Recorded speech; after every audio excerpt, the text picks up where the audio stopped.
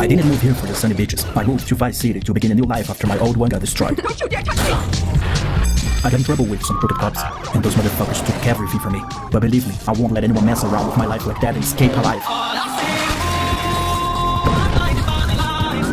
Whatever they are, from Liberty City to Las Venturas, from South America to the depths of hell, I don't give a damn. I'm gonna hunt down every single one of those fucking bastards one by one, and I'm gonna enjoy every second of it. I promise that in the grave of my daughter. Yeah, we don't want to do anything to scare your children.